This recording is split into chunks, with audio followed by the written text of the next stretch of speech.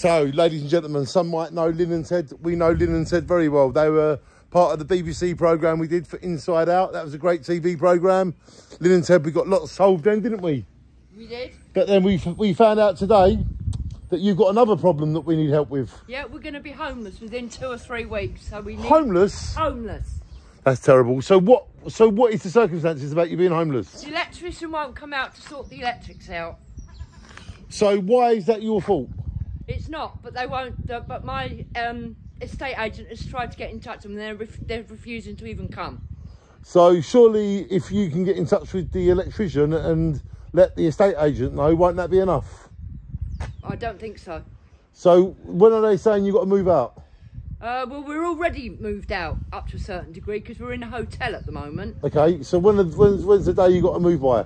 We don't know exactly yet, but we're in temporary accommodation, and the temporary accommodation isn't going to be with us for much longer. They're not going to pay for it for much longer. So how much longer have you got acco- accommodation? We don't know exactly, yeah, but from what they've said, they don't think we are any longer uh, vulnerables, which we are. Well, you're home. You haven't got a house to go into, No, and the only place you've got is the hotel, so that makes you very vulnerable. very vulnerable, and we've been classed as vulnerables anyway. So, ladies and gentlemen, we are looking for a house in Jaywick or Clacton that is available for rent for Lynn and Ted. I will act as their guarantor. I know them very well, and I will give you my word that they are great tenants. Um, what sort of place are you looking for, Lynn and Ted? A Anything? one or- or two bedroom property, in, preferably in Jaywick, in Austin Avenue, but anywhere in Jaywick, this end will do. We've been here for 13 years.